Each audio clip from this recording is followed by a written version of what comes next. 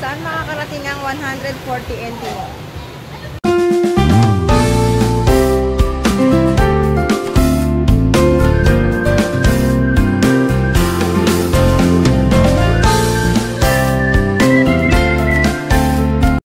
Hello mga babe, saan makakarating ang 140 NT mo? Eh, siyempre, dito tayo sa the best hotdog in Taiwan, ang Shabu Shabu.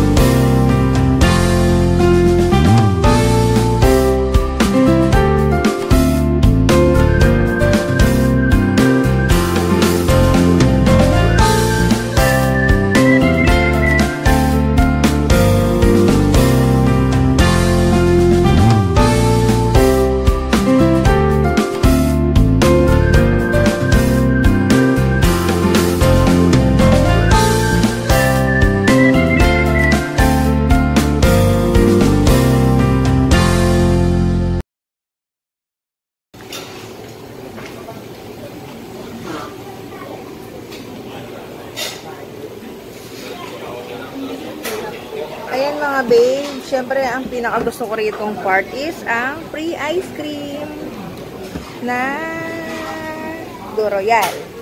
Yay! Ang sarap.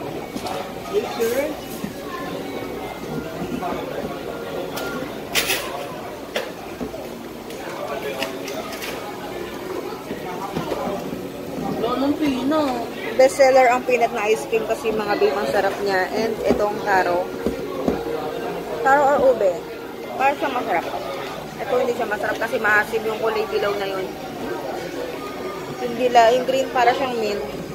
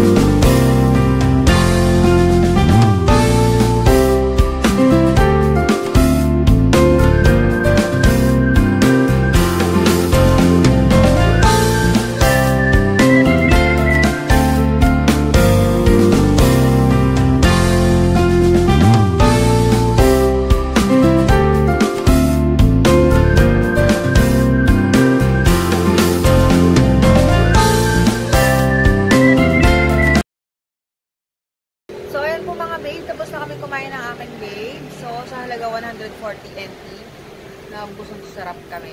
And, ang nagustuhan ko rito sa hotpot na to is, ang dami niyang, ano, ang dami niyang free. Free rice, mga unli rice, tapos yung unli drinks, may kape, may, ikaw, choices mo. And, yung sauce nila, yun, maganda siya kasi kanya-kanyang gawa siya ng sauce. And, Siyempre yung ice cream, and the ice cream, ayun. Salamat po sa manonood and keep on watching. And please subscribe and feel free to comment below. Bye! See you on our next vlog, mga babe.